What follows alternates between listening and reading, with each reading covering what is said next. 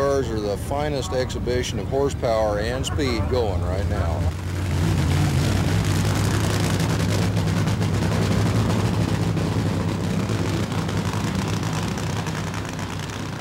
We like funny cars because they're fast. There's a lot of action. Power.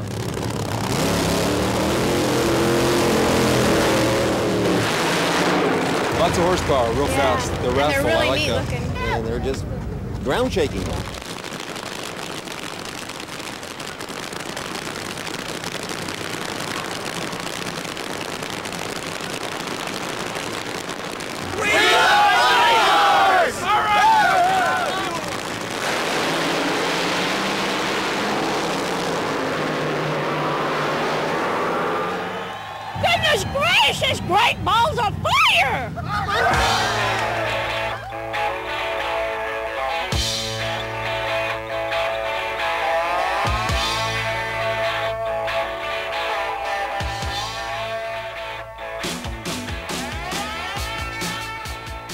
They shake, they rattle, and occasionally roll. They're the most violent, unpredictable racing machines man has yet conceived. Funny cars, floppers, plastic fantastics, call them what you will, but they're five second, 260 mile an hour combat packs at grandstands like no other breed. The Mount St. Helens of the quarter mile.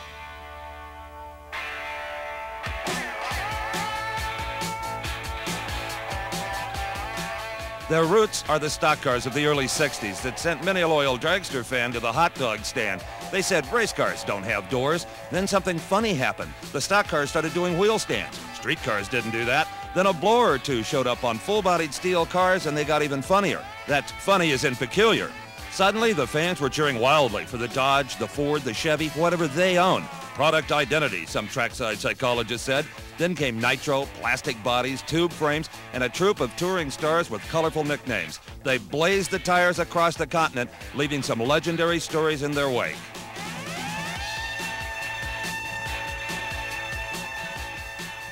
When NHRA accepted them as a real racing class, the unfortunate name had stuck, Funny Cars.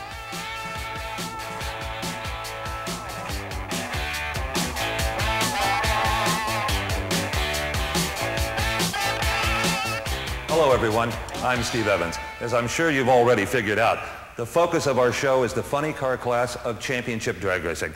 And who better to talk about the past, the present, and even the future of funny car racing than two men who have both earned world championship status. Kenny Bernstein, the Budweiser King. Hi, Steve. And, of course, Don the Snake Prudhomme. Snake? Hi, Steve.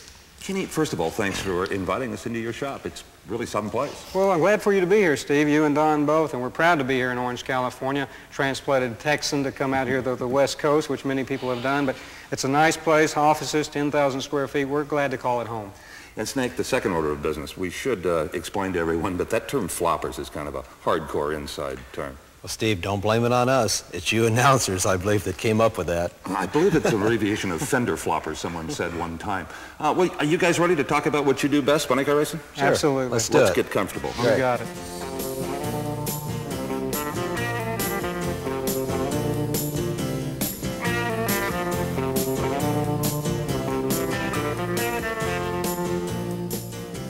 Hey, you guys. The other day, I read in the paper that they dug up an old race car at Lyons Drag Strip that is now closed. You know, in the article, the gentleman that wrote it seemed a little confused. He said it was a funny car, like a stock car. Well, you guys were too busy flogging your top fuel dragsters in those days to maybe know what was going on, because the funny car really did start as a stock car. In fact, an old pal of yours, Dick Landy, was one of the first. He kind of altered the wheelbase, and the car started carrying the front end off the starting line, and the people went nuts. And that's really where it came from. The first funny cars, like this one at Dick Landy, were not built from the ground up. They were modified A factory experimental cars, an official NHRA class that had strong factory participation. Ford ran their single overhead cam racing engine here. Uh, later, their famed shotgun Hemi. Of course, Chrysler Corporation with its Hemi and all of the big block Chevrolets. The factories were actually using hot rodders all over the country as R&D contract specialists, coming up with exciting new projects from carburetors to camshafts. The racing was close and exciting, and many a fan thrived on it. But for these drivers, the rules were a little too restrictive. They wanted to go quicker and faster no matter what the rules were. And the first modification they made was to the wheelbase, moving that rear axle forward for better weight transfer. At first, just a few inches. By 1965, the wheelbase had been altered a foot and a half. Suddenly, carburetors were replaced with fuel injectors poking through the steel hoods. Roll bars had been installed, and in some of the tanks, nitromethane instead of gasoline. Well, the next logical step, superchargers. And suddenly, these cars took on their own identity, funny cars.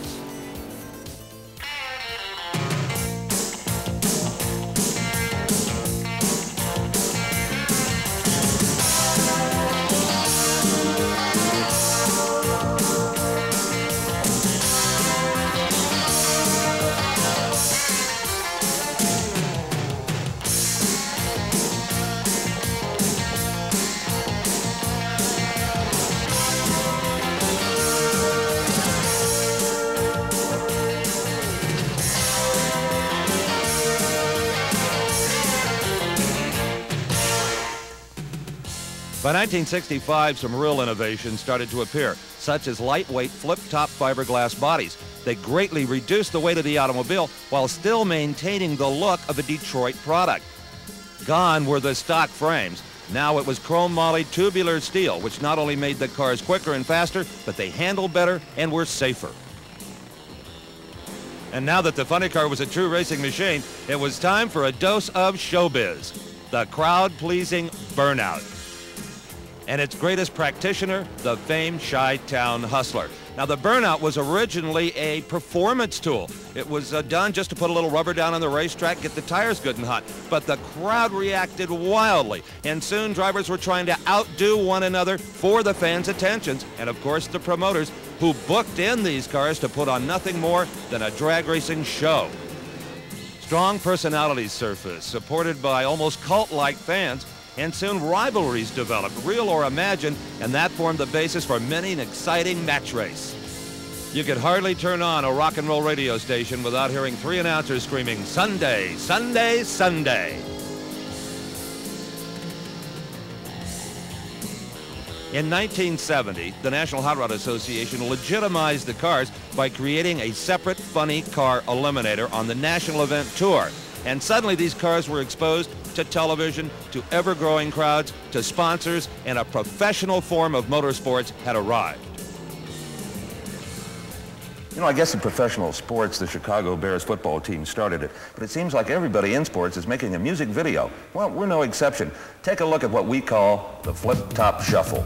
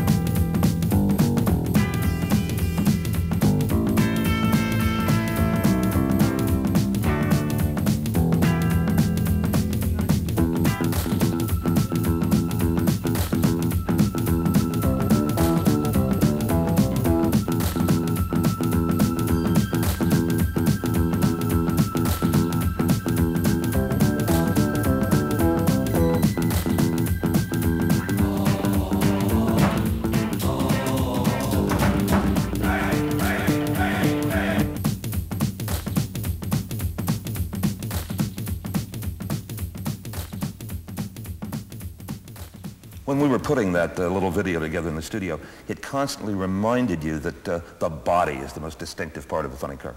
You're right, Steve. Uh, Irwindale Drag Strip, I happened to be there when Dyno Don Nicholson was debuting his Ford uh, flip-top funny car. It's the first body that we had seen in those days that the actually came up uh, that you lifted from the front, which they called the flip-top funny car. In fact, I remember that night he won Best Engineered Car, and they presented the award on the starting line. He got in, and the body blew off halfway down the racetrack. It was a Mercury body car.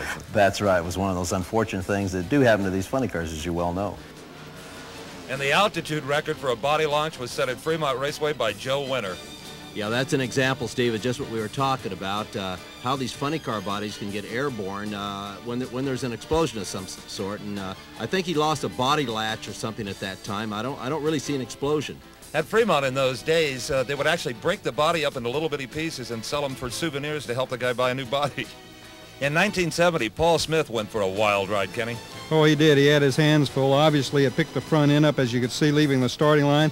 Went up, came back down. He got back in again in the throttle and up again, and it threw the body right off the car. And that was just a situation there of having your hands full and really not aborting a run when you should have early. Yeah, Kenny, but I think we're all guilty of that. When you're on a good run, it's just hard to lift. And in Paul's case there, it was doing a wheel stand, setting it down, didn't want to abort the run, and I believe it just got too much air up underneath the body. Well, Snake, you had the best seat in the house at the 75 Spring Nationals, Raymond Beadle. It was in the final round. I was racing Raymond, and he was off on a heck of a run. His car was started carrying the front end, and I could see it out the corner of my eye. I thought, boy, when's he going to lift? Well, I'm telling you, he got it up too. It went up, and just like you said before, Snake, the wind got the body, and off she came, and out the parachute comes. At the 84 Gators, it was Ron Careni who found yet another way to shed a body, Kenny. Oh, he sure did. And a tremendous blower explosion right off the starting line, blowing the blower concussion style right off the body, right off the car by just like a big firecracker going off in a can. Boy, in the early days, there were some goofy bodies out there. There were Jeep-bodied cars, oh, topless cars. Oh, I remember seeing the Destroyer Jeep over in Phoenix, Arizona. I thought was fantastic. But you know, it's all changed today, and obviously it's more sophisticated and updated to what is now today the funny car, the long, sleek, narrow type funny car that has the aerodynamics that you have to have to go 260 miles an hour. In those early days, it was crude. It was the first time around. But since then, all of us have been able to go into the wind tunnel at Marietta, Georgia, and look at the cars and see what the wind does.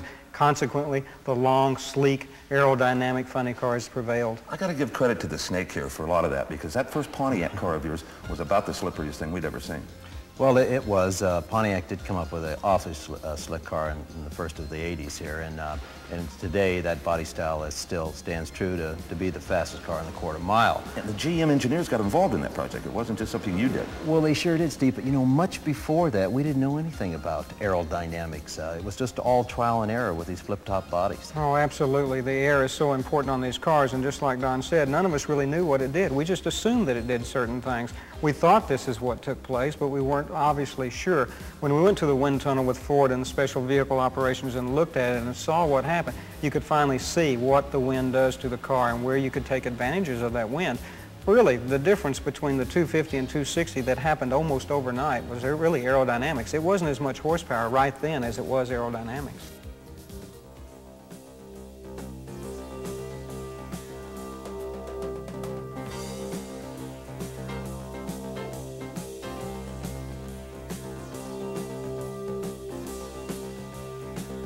Well, there were some cars out there that the word funny did apply. Funny ha ha.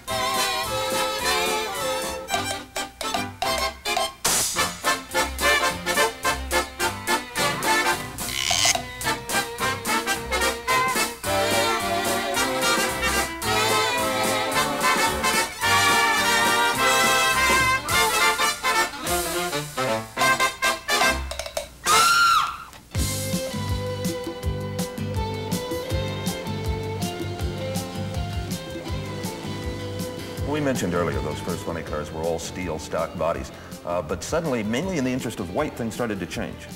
Well, sure. Uh, fiberglass, of course, came into play. Uh, matter of fact, Don Nicholson's car, like we pointed out, was a fiberglass car. But the uh, funny car bodies today are, are much the same.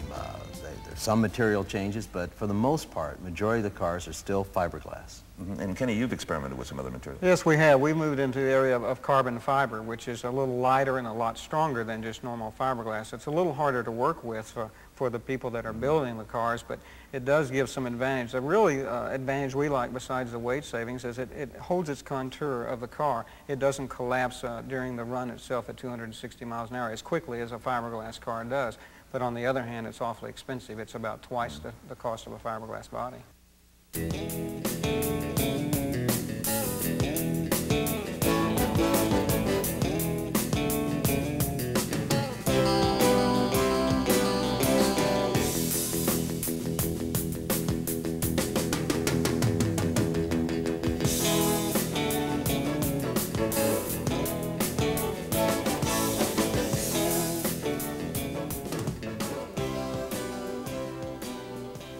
I started out, and you got the McEwens, the Prudhommes, the McCullochs, you got people like that.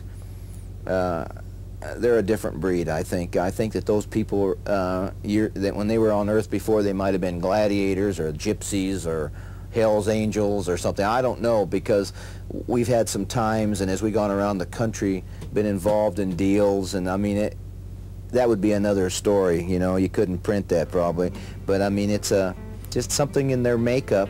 I think they could, uh, probably could have been maybe astronauts or uh, things don't, we don't get scared real easy with stuff, just like uh, Daredevil. I don't know, it's just, but you're right about that. There's a few of them around in the funny car ranks that are a little bit different and uh, they've got uh, funny personalities and they'll do things that most people won't do and they're kind of a, a group of their own.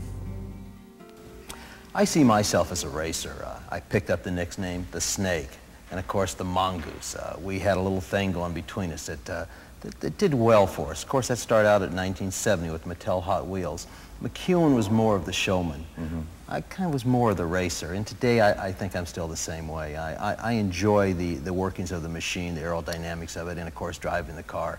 Uh, the showman part, uh, I, I, left that up to the mongoose. Well, first I think the showman side of it in today's funny car has diminished a lot. It, it is a business today. It's a, a way that we make a living, mm and we have to run for sponsors and do things for them. So the showman side is kind of over. It's neat to still have the names around, the snake and the mongoose, and to see those, the ace, McCulloch. Mm. I like like that, but you don't see that happening anymore as you did in the early days. But as far as, as, as myself and the Budweiser King, I think uh, the people look at uh, Budweiser King and myself as, as business and a racer at the same time. I, I hope that's what it is, and that we're out there trying to, to do the best we can to win races and a championship. That's what it's all about when you get down to it.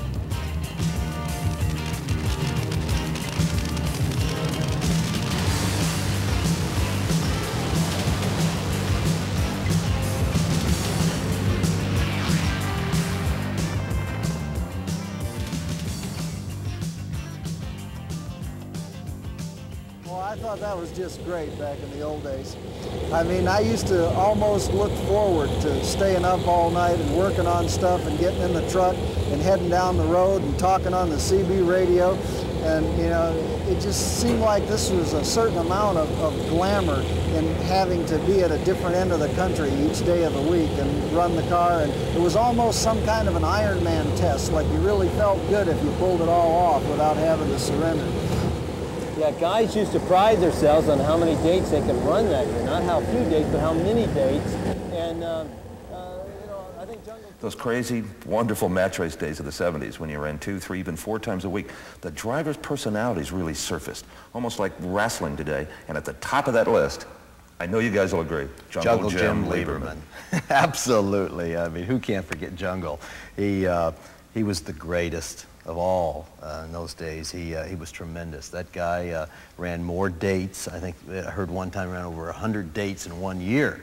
Uh, he did have a couple of funny cars. He would jump from track to track and run all over the states running those things. Well, he'd book the same night at five different tracks. He drove the promoters crazy. You know, he was making sure it didn't rain somewhere so he could get to the next one. Now, he was a true showman. He was probably the first showman of the sport in the funny car side that I remember growing up and reading and seeing Jungle Jim, but what a guy. And of course the fans enjoyed Jungle Pam out there lining that car up. oh, that was part of it.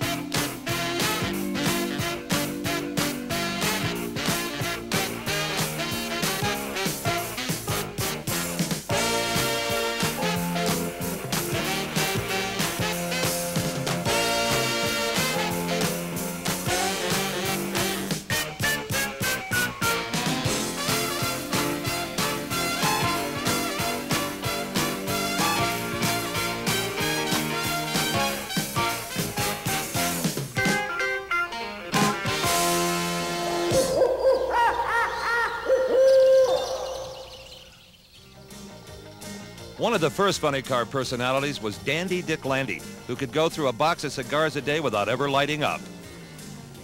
We raced them mainly uh, uh, what we call match racing. That's where the match racing started. There'd be two cars, three cars, or four car shows, and we'd go into a racetrack. And it was fantastic. The Ford, Chevrolet, Bill Jenkins, uh, uh, the Landys, our Sox and Martins, having these match races. And uh, boy, it was just unbelievable. They thought nothing to get six, 7,000 people out there just to watch a, a two or two to four of us race.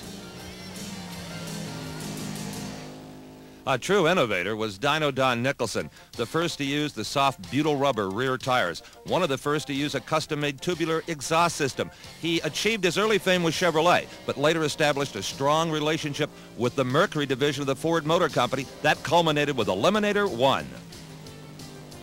That was the first flip-top funny car ever built by anyone, and uh, of course it uh, was a forerunner of what we see now in the funny cars and uh, we had uh, we won as many as uh, 39 races in a row with that thing without ever losing one. 68, uh, we finally decided we was going to have to go to the supercharged cars to keep up.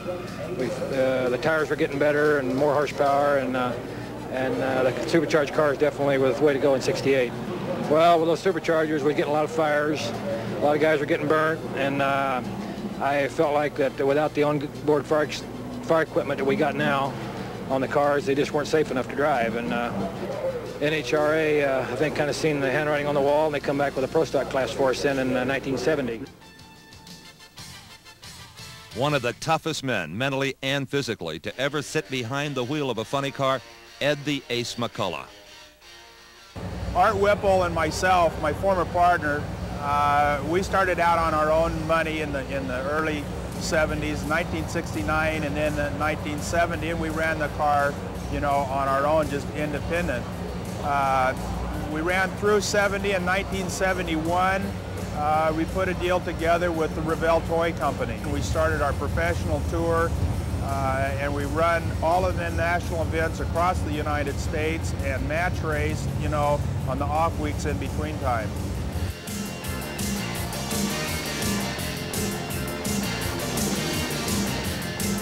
Probably the highs in, in uh, drag racing or when you're on race day and you're out there and you're winning your rounds. You know, you get by first round and it's always a little bit tense. Uh, you know, your anticipation and, and in the build up, you get that first round under your belt and then you just get tougher from there. And I mean, when you get to the last round and you know, you get to the finish line, that's probably the all-time high right there, to be ahead of the guy at the finish line in the last round.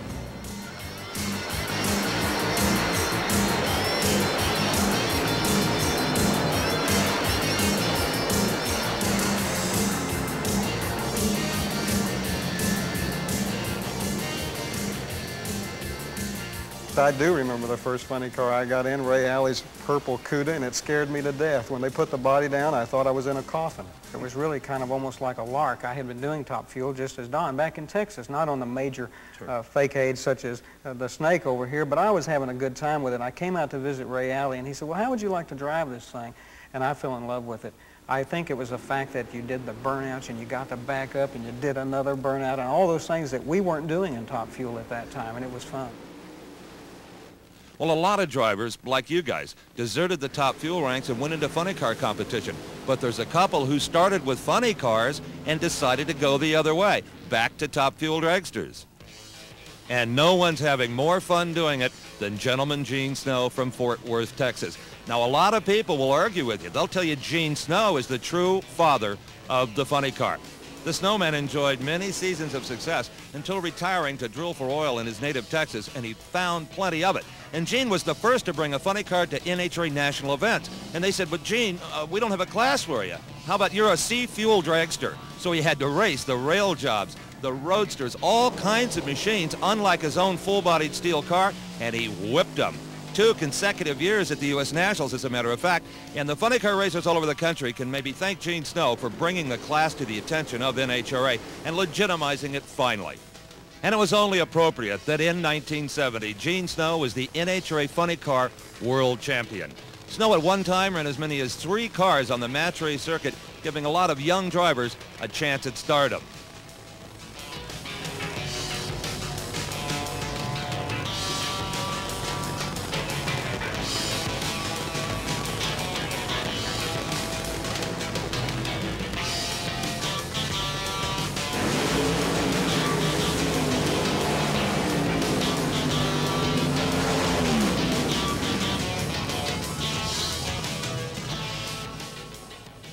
Of the most famous Top Fuel dragster personalities and the only driver to win three NHRA World Championships, actually started a professional career at the wheel of a funny car. In those days, she was known as Cha-Cha. Shirley Muldowney teamed up with Connie Kalitta. She was a very popular attraction on the race circuit all over the country. But at the U.S. Nationals, she got singed a bit in a funny car fire, and she said, you know what, I'm too damn pretty to get burned up like this, and decided to sit in front of the motor where she was more comfortable. But it all began with funny cars. The drivers were important, as you know, but in one case in particular, the car was by far the most important thing, the Chi-Town Hustler. Oh, indeed. Anybody could drive that car, and the promoters would book it, and the fans would go nuts. You bet. They really enjoyed it, the smoky burnouts from one end to the other. As long as you could do that, you had the Chi-Town Hustler. The smoky burnout thing, we actually initiated that uh, because we felt that if we really smoked the tires hard and got them hot, that we could improve the traction. And like as a, a tuner and engine builder myself, I, I almost have some regrets that we were known so much for the smoky burnout when back in those days we were also just a little bit faster than all our competition as well.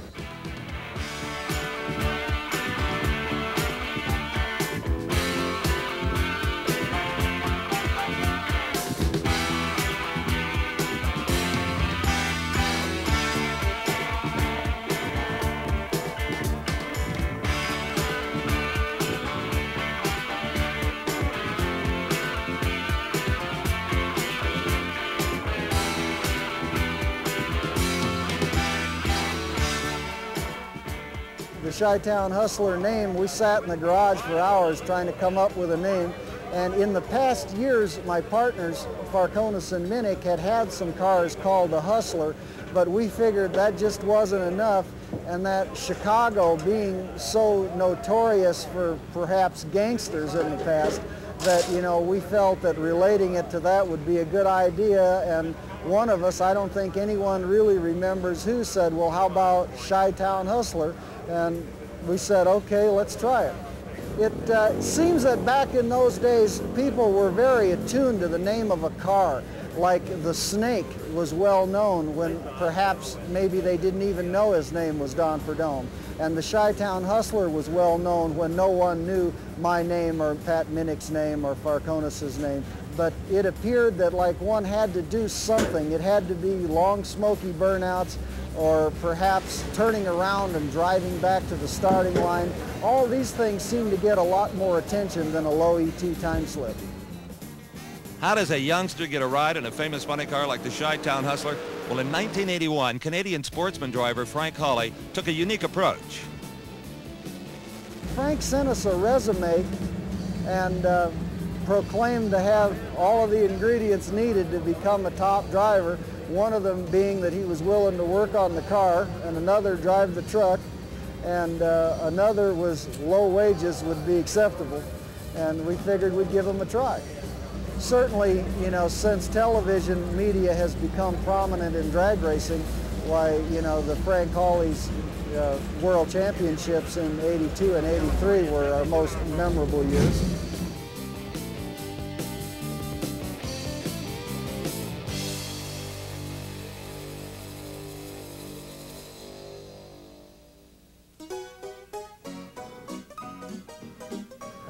Appreciate it. Oh, thank heaven for 7-Eleven. Takes that kind of money to be able to do this kind of racing, and it's uh, without the people like Chief and Sid going 7-Eleven and Valvoline, you just can't do it. Paul Candies, congratulations. Thank you, thank you. Fine young man here. My guys did a great job. Best team in drag racing. It doesn't get any better than this. I saw him right next to me, and I knew he was close to it, and I figured that if that, as close as he was to me, I knew he probably had to be over, but it didn't matter. The Budweiser King Motorcraft Tempo was on the wood. Nice watch, Steve. Well, thank you, Snake. It's the choice of a new generation. Was it expensive? Well, kind of, but I got on this special plan. You know, you can pay me now or pay me later. From the looks of it, quality is always job one. By the way, Kenny, how come you always look so fresh? Well, nothing keeps you revving like 7-Eleven. If you ask me, it doesn't get any better than this. Unless you go Hawaiian. well, Kenny, before I forget, this Bud's for you. Thanks. Let's give the sponsors their due.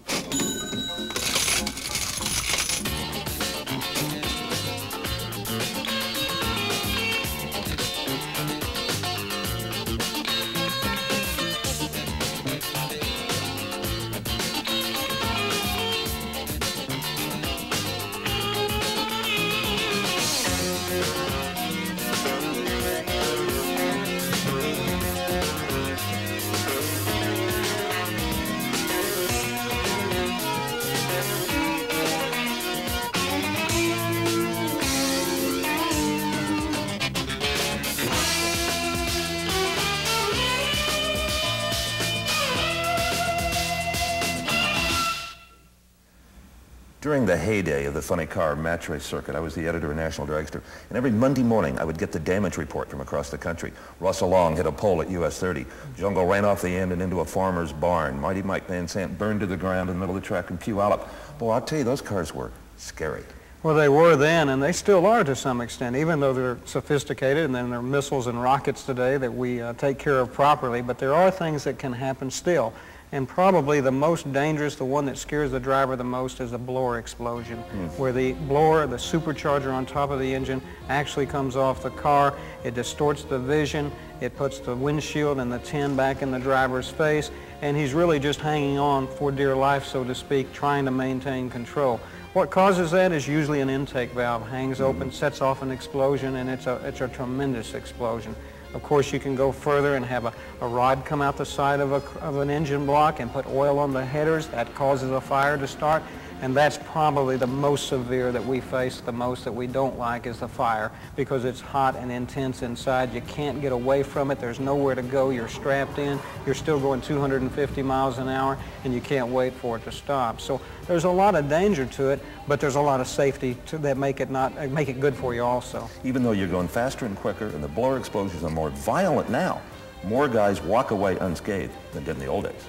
Well, certainly. Uh, but, you know, you really have to thank NHRA for that, I, I have to say, because they, they've done a great, great deal of uh, work in that department. Uh, the fire suits were the first main thing. You know, we lost a good friend, John Mulligan, many, many years back uh, because of fire. We learned a lot from them. People like Bill Simpson and Deist came out with fire suits that uh, really help protect these drivers. Fire boots, the gloves, the equipment um, is second to none in racing. And let's not forget the onboard fire extinguisher. Well, it's obvious what Don said. NHRA, we can thank a lot for that safety. The front brakes are one, the dual parachutes, the Nomex underwear from Simpson, the, from the socks all the way to the head stocking, the gloves, everything that it takes to keep you safe in the car. The roll cages in the cars, which is really the most mandatory thing that we have. Again, there's a design there that has to be met, a specification that that roll cage has to be intact. And if you'll notice in most crashes, that roll cage is always there and the driver is safe, and that's very important. You know, recently at the uh, Winter Nationals, Ed McCulloch, he had a bad one. Right. And I got to think the front brakes, which are now mandatory, uh, really helped keep him in one piece. He was able to stop that car so the safety safari could get at it. That's right. Uh, our car was one of the first cars with uh, front brakes. Uh, we learned that in a match race in Milan, Michigan. Uh, I lost a parachute. The car started bouncing, getting out of control at the other end of the track. And after reviewing the films, uh, saw that the front wheels were on the ground and the back, big balloon back tire started bouncing. If I'd had front brakes on there, I could have stopped the car.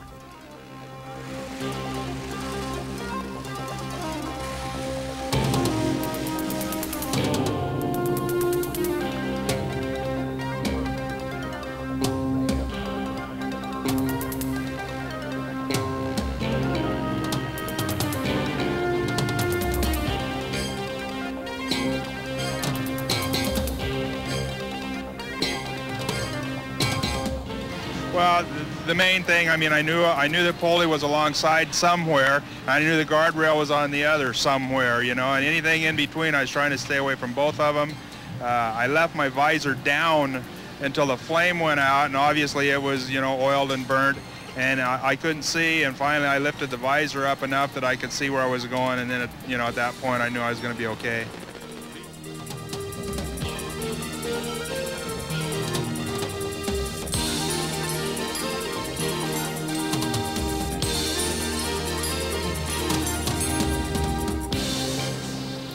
And anybody who thinks a funny car doesn't need a driver aboard didn't see Tom Anderson at the 83 Gators. Watch this.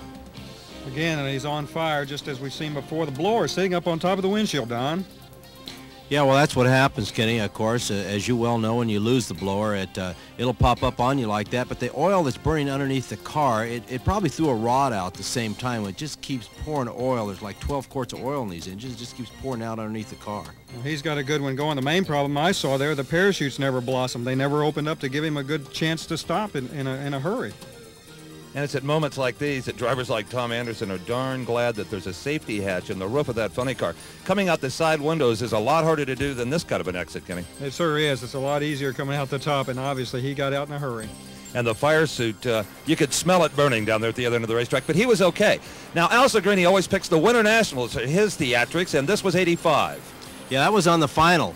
He blew a clutch. Uh, unlike the blower explosion or uh, throwing a rod out, he blew a clutch out of the car. So there's other there's things that can happen in these cars besides blowing the engine up. What were all the sparks? Well, it was the pieces from the clutch uh, getting loose and tearing up the bell housing. Uh, uh, I don't believe too many of the parts came inside the car, but it looked like it all went out the bottom.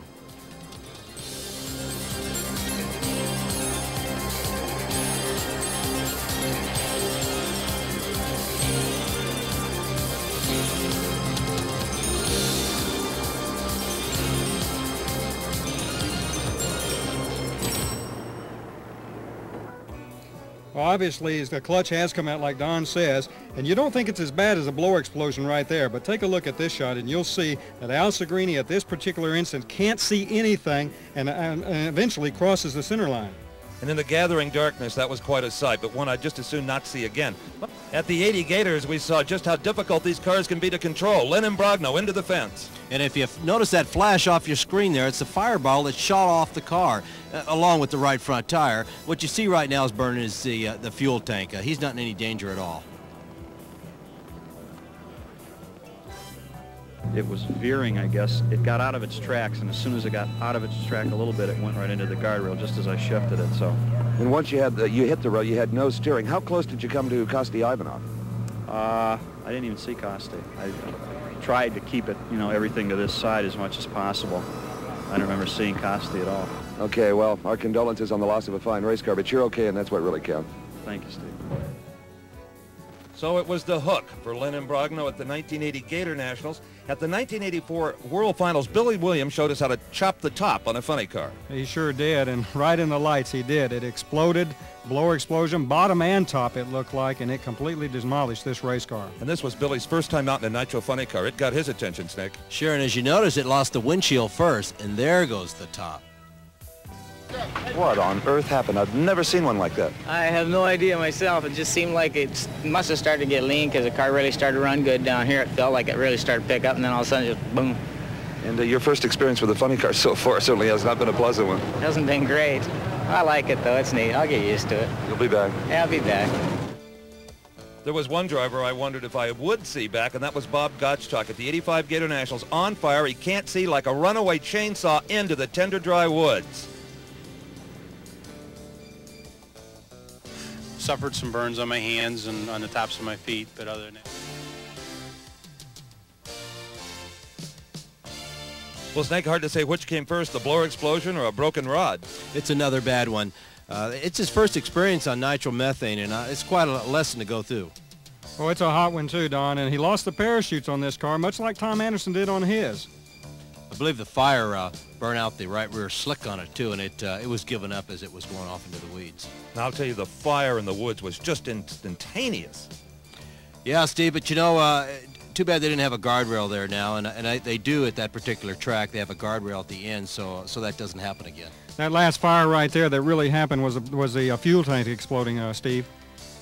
And amazingly, a member of the NHRA Safety Safari, who always wears a fireproof suit, went into the woods and got that man out. Was there a funny car that you had that you, looking back, you wonder, why did I ever drive that? Yeah, that happened to me at uh, Seattle Raceway at uh, in the lights. When it uh, flew. It flew. It took off. That was one of the first big fires that we had in the sport, and it was my Hot Wheels car. It caught on fire in the lights, and it actually took off. The front end raised, and, the, and it cleared the lights at the end of the course, and, and, of course blew the body off, and it was tremendous fire. Well, I was in the tower, and the clocks didn't stop. And I couldn't figure out why. he was over. Until later I saw the, a picture of it, and it flew completely over the track. But in those days, it was trial and error. We didn't know anything about aerodynamics, and, and who knows what would happen with fire. And therefore, I found out, and it was an unfortunate thing, but you know, a lot of guys experience things like that, and that's where we're at today with the safer car. Oh, I certainly have felt from time to time in the early beginning when I came back to racing in the early 80s, 1978, 79, and 80, and I had been out of it a while, and I had my hands full at Orange County Raceway. As you remember, Steve, I must have made 40 runs over there and never made it down the quarter mile. I hit every guardrail there was. Poor Mr. Donor had to repair a guardrail every time Kenny came out there, and I didn't know if I should be in that race car or not. Believe me, I didn't know if this is what I wanted to do or, or not at that time. Was there actually a point where you thought maybe I want to do this? Well, I did. I thought two things at a particular time. I thought, one, maybe I didn't want to, and two is maybe I couldn't. Maybe I had grown past the stage of being able to do it. But uh, fortunately, uh, I stuck it out and uh, got some help from some friends of mine that, that gave me some good advice. I finally made it through there, and everything turned out fine. But you bet, I thought for a while, now this isn't me. I better go back to, to doing sandwiches in the restaurants.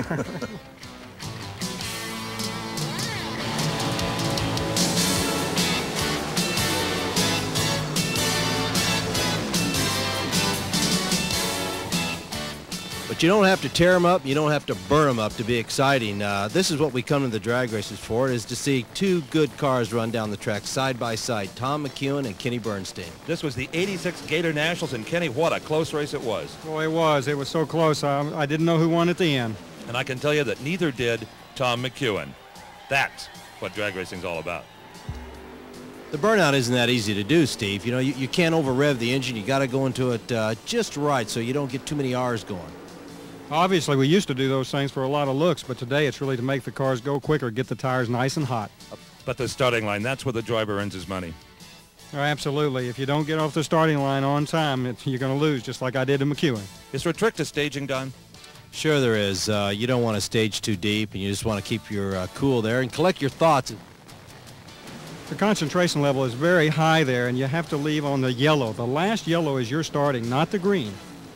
I've noticed with both of you guys, when you win a close race, the adrenaline is really pumping, uh, and not when, uh, when it's a runaway.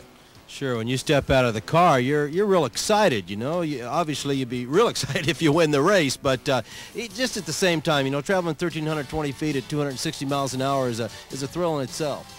Head-to-head competition, no second chances. Let the best driver win. That's what the fans like about funny car racing. Well, you know, drag racing is one of the luckiest sports in the world. It allows the spectators to come to the pits and watch us work on our cars. It's a show in itself. Absolutely.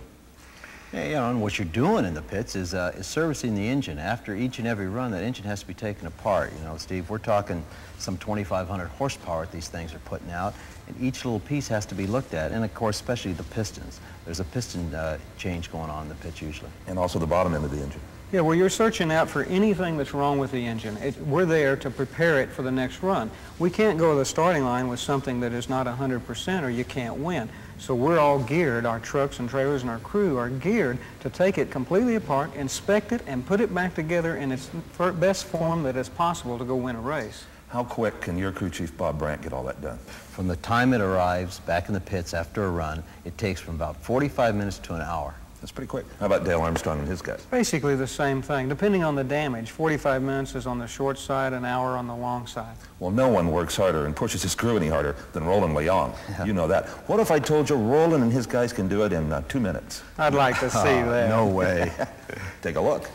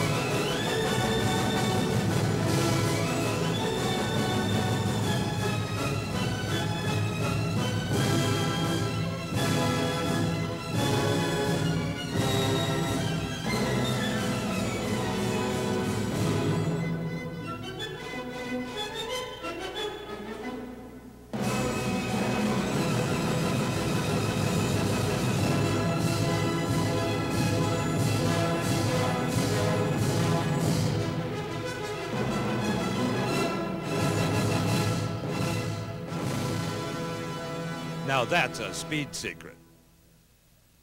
Well, someone once said if Roland had a uh, driver's reunion, it'd have to be in the Astrodome. yeah, and I'm one of them. I haven't made it over there yet, but there's a lot of them.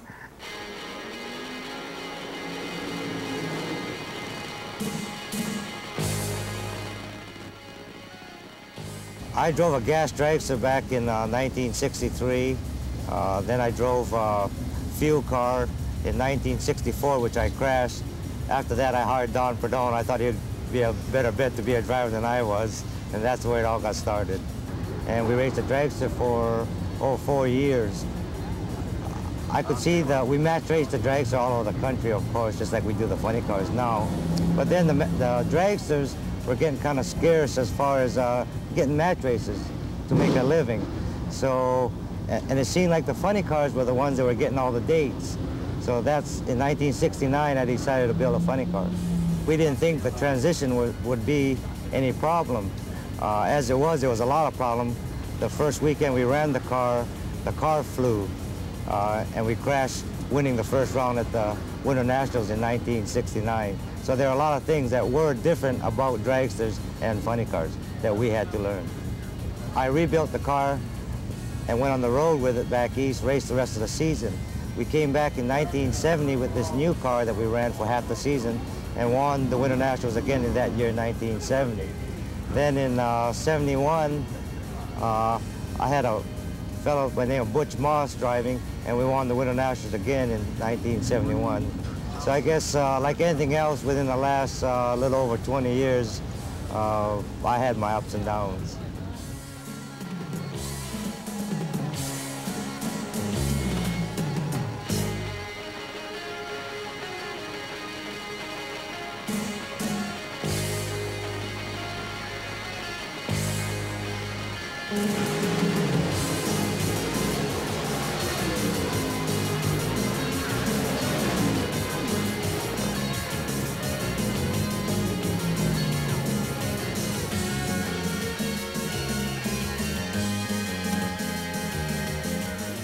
Texas was very prominent in the funny car ranks in the early days, and the main car out of Texas that probably set it on the map to begin with was the Blue Max with Raymond Beadle, oh, the late owner, but in the beginning, the Harry Schmidt car when he owned it at the start of, of the time. And I remember having my shop on Reeder Road in Dallas, Texas, Mm-hmm. next door to the Blue Max, and Mike Burkhart, and of course Gene Snow, the snowman, who was dominant in those days also. And the first weekend that Blue Max went out, this was a brand new car.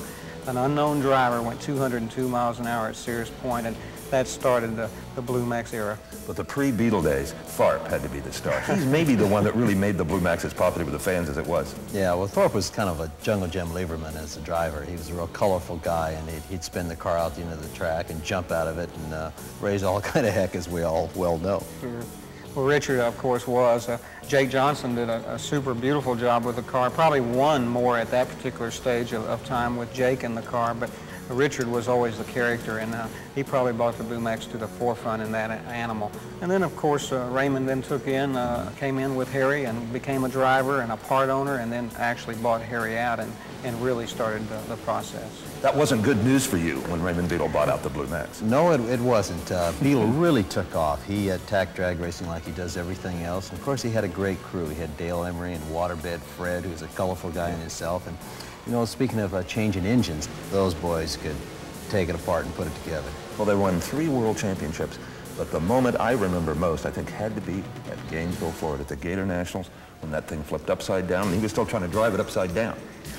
yes, I remember that well too. He got out of control and it hit the guardrail and spun upside down. I think I think it scared uh, everyone else more than it did him. Well, the thing I remember about that the most is when Raymond got out, he put his arms up in the air and waved to the crowd as if he was a champion. He did it, you bet. That's what I always said. All we needed was a theme from Rocky Amen. to go underneath that to make it work. Yeah, that's right.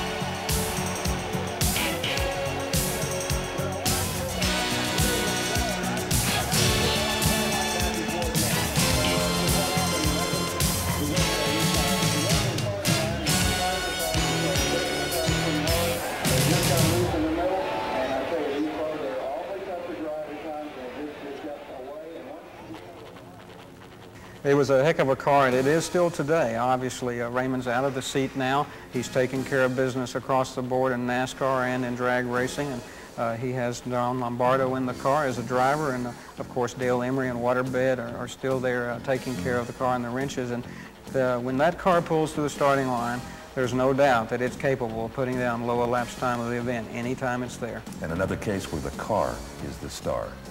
Blue Max.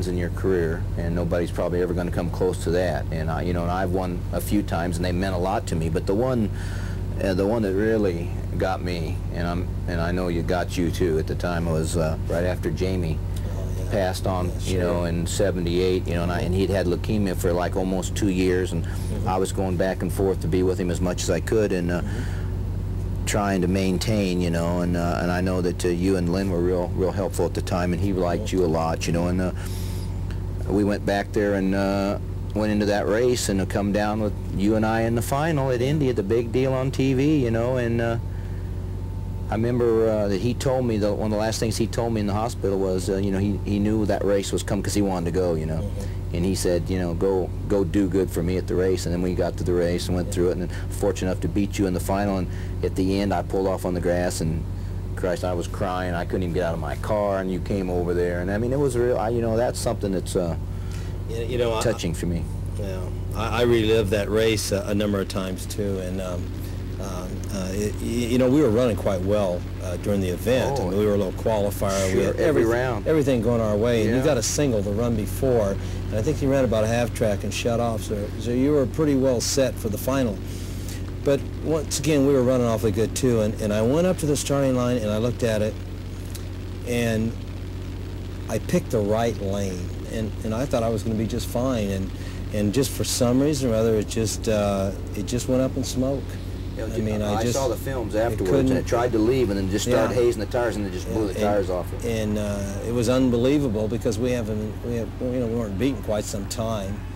And uh, but to watch you go down through there and uh, cross the finish line first, uh, uh, there was a, I guess that was the only race in my entire career racing you that I didn't mind you winning, but yet that was the biggest race.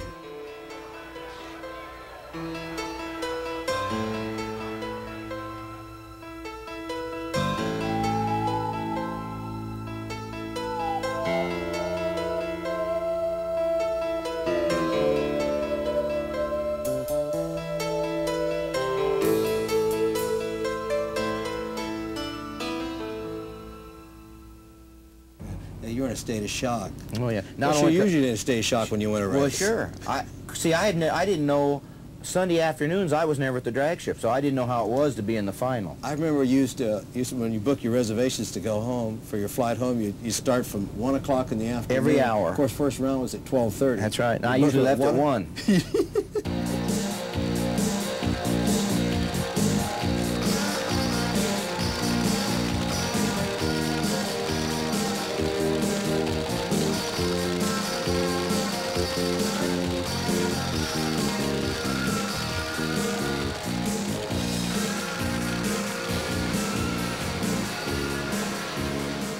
McEwen right now is as tough as anybody out there. He won the 84 Big Bud shootout, ran 260 miles an hour. But in the early match race days, when you guys were out selling Hot Wheels toys for Mattel, you beat him up so bad every weekend, but he never lost his sense of humor or spirit. no, he didn't. He had to have one in those days. and you whipped him.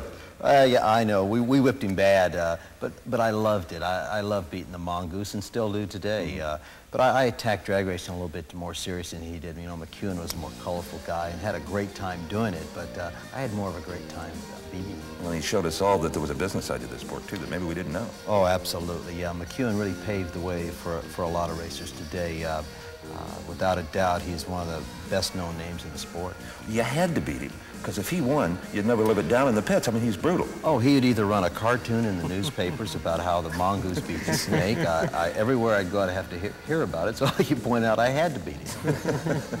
Well, he's a super guy, needless to say, but like you said, he did pioneer the, the sponsor s- stage of things to come. And he's a really smart businessman and has a lot of good knowledge upstairs that he doesn't just give out all the time. You have to kind of pry it out of him, but when he does open up and tell you, he knows what's going on.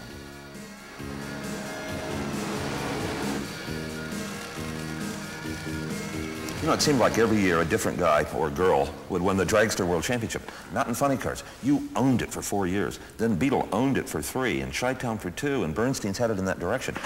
You've told me earlier that it was the fuel system. That was your secret then. That's right. It's called a combination, and we had it in the fuel system, and, and we dominated it for four years. But all along while we're doing it, someone else, in our case, the Blue Max was our stiffest competition, had a combination they were working on, and it clicked. And it outperformed our combination, and they went ahead and won the championship a few years themselves. Now, if you went back and looked at the fuel system on the car that he won four years with, it would be archaic compared to what you've got right here. well, certainly today it would, and, and probably this one will be archaic in a couple of years, but we're in the dual pump system, and it's really a, a good system because it can, can take care of the cylinders a lot better and put more fuel in the engine, and if you can put more fuel in it and burn the fuel, which then leads us to the three magnetos, you'll make more horsepower. More horsepower will mean you'll go faster and quicker, and that's the key, and that's what's happening. Of course, what's helping a lot of those areas is the computer that we have on the car to tell us what we need to do, and that is really the, the element that found that more than one magneto was needed. Actually, that was the thing that told us because the magneto was missing fire, cross-firing. So there's three on the car today. And Dale told me you can actually run the motor a little easier as far as ignition timing with three of them because it burns so much. Exactly. It burns the fuel in the cylinder. And again, whenever you can burn it and put the pro proper amount of air in the car, it should go faster.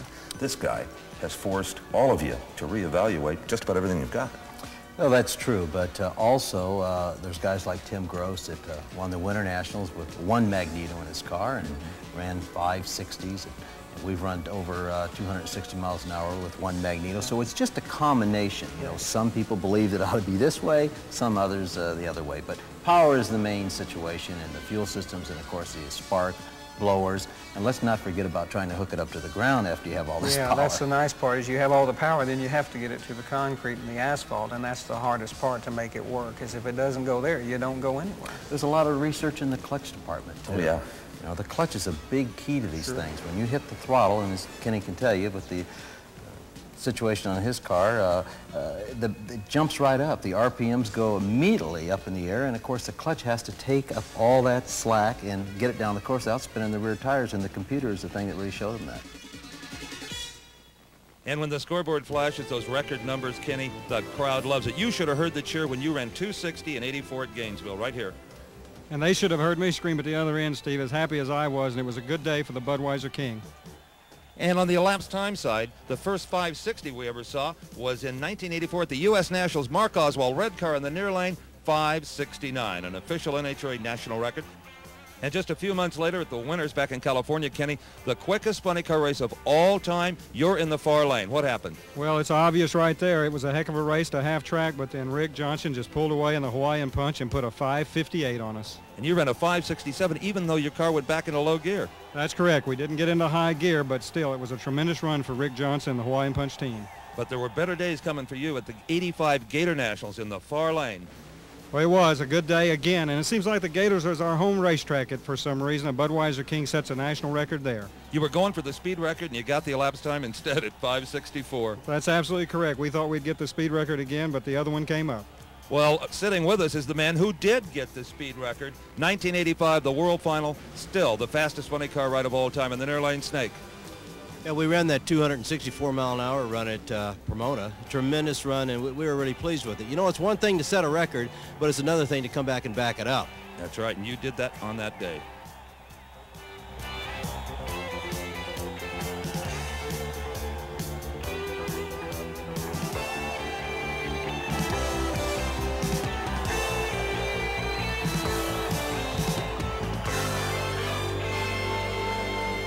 Know, both of you guys have experienced uh, the big bang when that car just explodes. And I know at the end of the racetrack working for Diamond P, when I watch those cars, I'm always expecting one or the other to maybe explode. What about in the car? Well, you don't think that in the car, obviously. You don't ever expect the car to blow up because it's not supposed to. It's supposed to make it from one end of the Right. quarter mile to the other without having that explosion.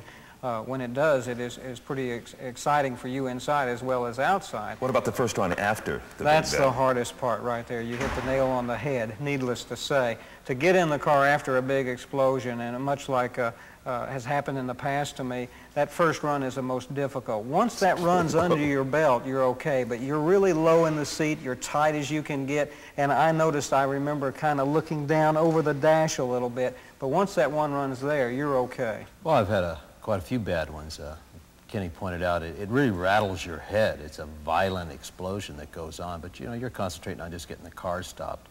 And coming back into it is uh, perhaps like a prize fighter after he's been knocked down and uh, uh, out of the fight. You have to think about it for a little while and get yourself together to come back again.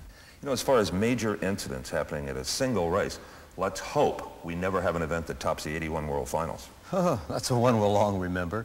I lost a car there, and of course Billy Myers. How about that fire Myers? That, that started it off. it's a rash of them there, but that happens at these events. Uh, uh, we were all going through a fuel system problem at the time. The air was super good, and went out there Sunday morning, and went, it's going to be a rough day, guys. you know, it's gonna, Boy, it's it cool here, and we're going to have to richen these motors up, and a lot of them were just too lean, and, and of course that's where 90% of the fire comes from, is the lean conditions. I'll tell you, you kept me busy just trying to report on all of them, particularly Meyer. I have had a few uh, accidents, about three or four major ones, and they've all been at the finish line. However, the 81 World Finals was the one accident that the body stayed on the car. It, was a completely different feeling. The other ones are bigger explosions, but when it explodes the body off the car, you feel a little safer real quick because you can just climb out, with the exception of the fire. With this one, you feel more trapped, and it is more of a claustrophobic feeling. And uh, it was a good-sized fire, and uh, it's, you know, you finally get engulfed by the smoke and you can't see, and it's, uh, there's some tension there, but the, as far as coming back after something like that, it's, you know, it's the old theory of falling off the horse. You just got to climb right back on him and uh, hope he doesn't buck you off again. When you try new things like we do, and you try to stay ahead of the sport and aggressive, uh, then it's not always going to work right. There's always, you know, there's always a little bit of chance, and if you average that out over as many runs as we've made, you know, the, the odds are pretty good in my favor. Anytime there's an accident, I'm, I'm a positive thinker. I think, ah, the guy's going to walk out. Yep, there he is. Tim Grose had one in Columbus, Ohio. I didn't think he'd walk away from. Boy, did he. And there again, thank goodness it was nitromethane in the car, because as you recall, tremendous fire. He still had that fuel leaking out on the ground. If it had been gasoline, he would have been in serious trouble. The part I remember the most about, obviously, is that when he came across the track, hit the guardrail, and rolled on top of the guardrail, first thing I could think of was the guardrail getting inside the roll cage mm -hmm. with him. And yeah, it was uh, a tough one, the worst I've seen. You know, I looked at his fire suit later, and the guardrail had cut through all five layers and hadn't even broken the skin. Well, I knew what had caused the incident in 1980. Uh, the throttle was stuck. There's really not a whole lot I could do about it. I went to routinely backpedal, as we say in the business, where you back off the throttle some to tame the tire because it was spinning the tire a little bit, about 400 feet off the starting line. So I was traveling about 180 miles an hour, and uh, when I got on the guardrail, there was not a whole lot I could do other than tuck myself in and say the world's quickest prayer. I would have to say that with these cars as demanding as they are on the human mind and all that for because of the acceleration we go through, the g-force that we encounter, the severe tire vibration, which really causes a lot of distractions on many occasions, as you all might know. Uh, through all of that, I guess uh, you really put your blinders on. And so I really, there's, there's so much that happens within five and a half seconds. It's, it's pretty demanding, but uh, again, like I said, it's, it's never been a distraction.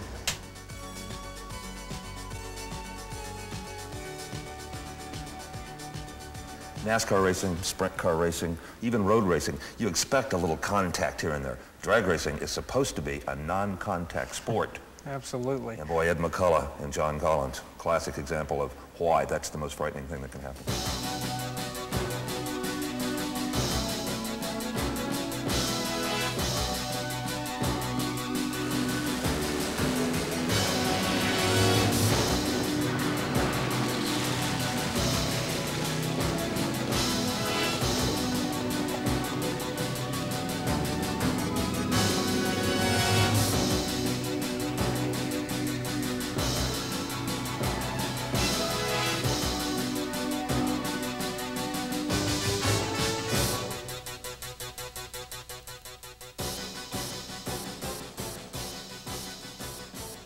Was just a terrible accident, obviously. I was standing on the starting line watching them run at that particular day, and I saw it all happen, and I just walked away. I didn't even want to go look, of course, at all. I didn't want to think about it. I knew there was no way that someone wasn't hurt in that accident. I, you don't like to see that. Like you say, uh, drag racing is a non-contact sport. The 1984 Cajun Nationals will be a race that I'll remember for the rest of my life. Uh, Ed McCulloch driving the light beer car and me driving the JVC car both left the starting line fairly even. Both cars were on a good run. I looked out the side window of my car approximately four to 500 feet down the race course. Could see Ed McCulloch. Uh, I turned back, hit my manual high speed, looked back over again just to check before I put my car in high gear. And at that point, I could see Ed as close as maybe three or four feet to me at that point. Therefore, when on impact, when the car went upside down, I knew I had, uh, I didn't roll, but I had slid several hundred feet before the car finally come to a stop. I think that it would have had a, a, a much harder impact on me if, in fact, I hadn't seen Ed come in contact with me when he did. Any kind of mishaps that I've had over the years, uh, obviously the, the incident with John Collins was by far the worst, but I've had fires and, you know, different things, blowing blowers off many times. Uh, you don't think about that at all. I mean, you get in the car, you know what it is you have to do, you go out of the starting line, you concentrate on the lights, and, and, and you just go out there and do your job, and you don't think about any of the negative things at all.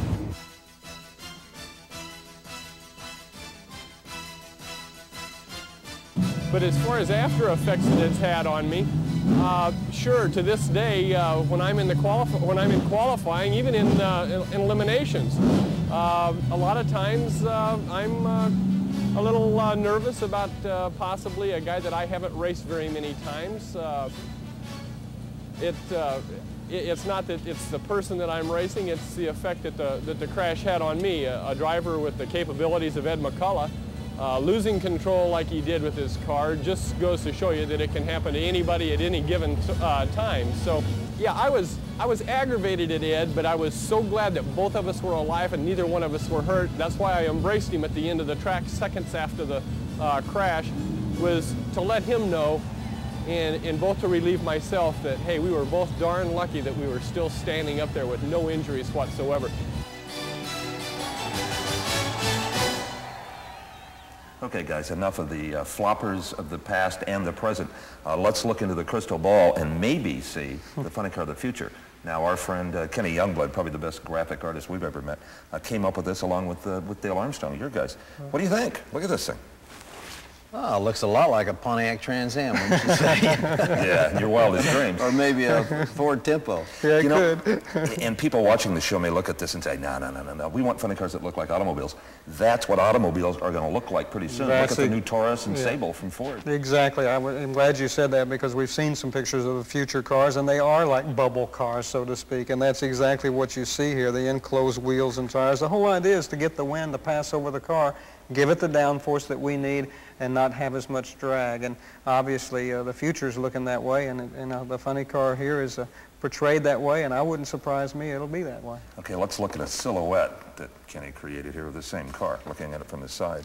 Well, the most uh, unique thing about that is having the front-mounted supercharger, which it's safety alone, it'll be Let's nice. look at the that right here. supercharger will be setting out in front of the engine instead of on top. Now, Which, dr- dragsters years ago used to do that. that's that, when I first started out, they had uh, front-mounted blowers. So who knows? It'll come back to that. You know, something else, Kenny, that's interesting here is no fuel is being passed through the blower. It's just pumping air. Exactly. Yeah, it's a super idea. Uh, it'll probably happen. Knowing Armstrong, it will.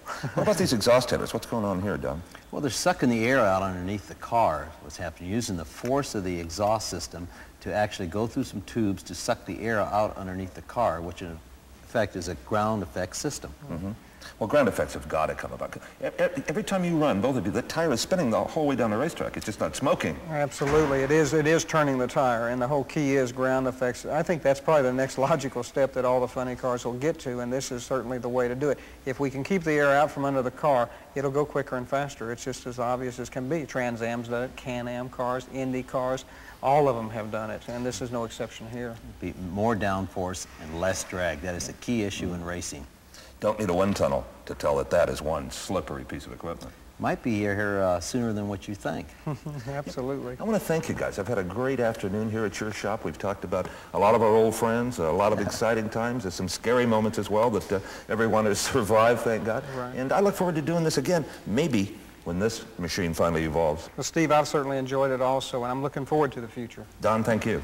Let's do it again.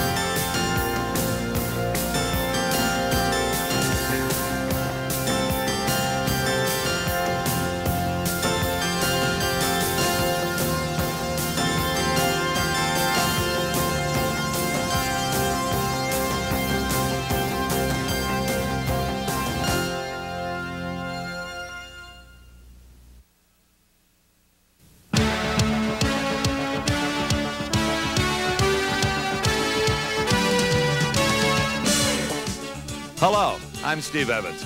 With the world's largest library of motorsports events and specials, Diamond P Video is your source for great racing action to be enjoyed at home on video cassette.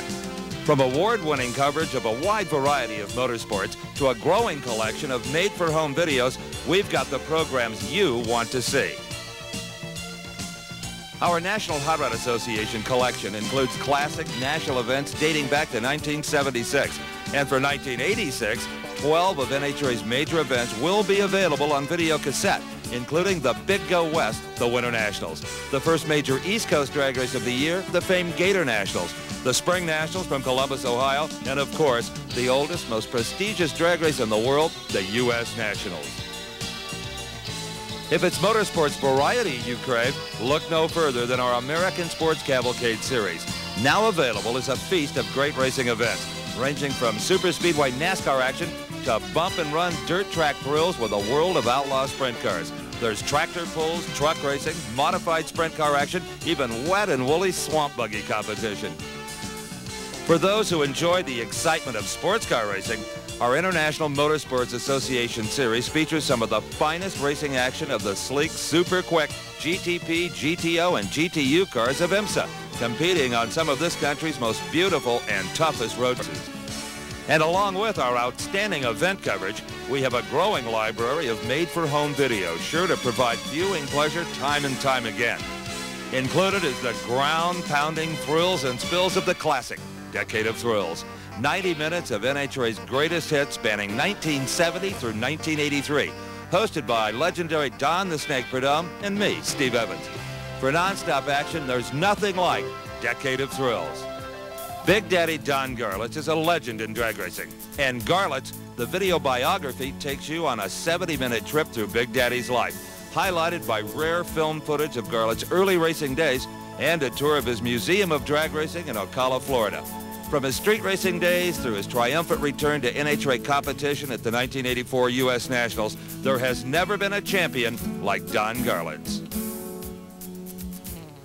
It's easy to forget when looking at NHRA drag racing in the 80s that there was a time when there was no such thing as drag racing. Gathering Speed, the early years of drag racing, traces the birth, growth, and development of the fastest accelerating sport on wheels. This 110-minute special traces the sport from its early start on California's dry lakes through the boom years of the 60s that saw the spreading of national events across the country. Without a doubt, the most complete, most comprehensive look at the origins of drag racing. And, available in April 1986, the newest, most explosive special yet, Fabulous Floppers. An in-depth look at the world of funny cars, starting as an experimental class in the early 60s, supported by the major auto manufacturers. Funny cars have grown and evolved into the most exciting machines to rip down a quarter-mile strip. We're Diamond P Video, the leader in automotive video, and your source for all your motorsports viewing. For more information on these and many more programs, call us today.